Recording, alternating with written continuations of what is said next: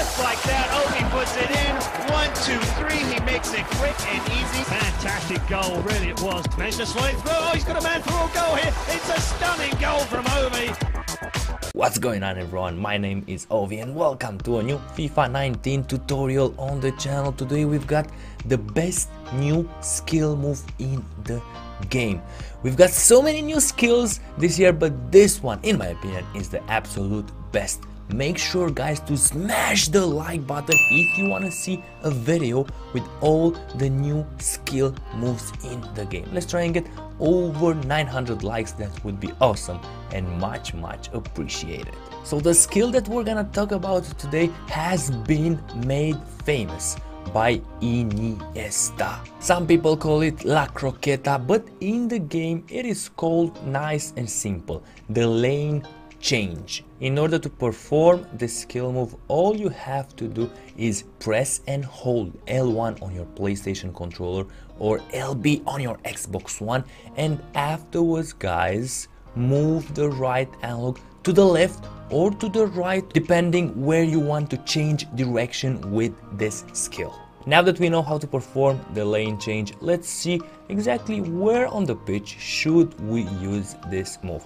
Uh, the lane change, the croqueta, la croqueta, is a similar move to the ball roll, but it has a longer range of motion.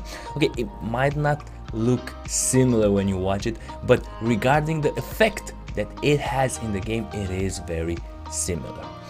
First of all, it sets up the shot. If you are controlling the ball with your player and you want to put the ball in the right position from where you can smash the shot button and score a goal, well, La Croqueta is the skill to use. We might as well call this uh, the best skill move to cut inside from the wing.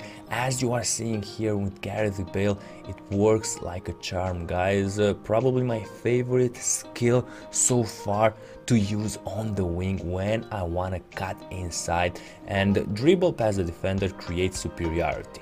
And now guys maybe the number one advantage when using the lane change. It is perfect to set up a shot on the stronger foot of your player or to set up a finesse shot. Uh, imagine for example that uh, your player is on his left foot or right foot and you know his dominant foot is the other one. You can't really shoot the ball with uh, from far out with your player's uh, weaker foot. So you want it on the dominant foot. What are you going to do? You're gonna use la croqueta. And this skill move will do everything for you moving the ball in the perfect position from where you can smash it in the goal. All in all guys in my opinion best new skill move in the game. Leave a comment below and let me know your thoughts about it. Uh, leave a comment below and let me know what other tutorials you would like to see next on the channel. Any feedback guys is welcomed. Thank you all for watching. Don't forget leave a like if you want to see that all new skill moves tutorial on the channel going live as soon as possible. My name is ovi and i'll see you guys later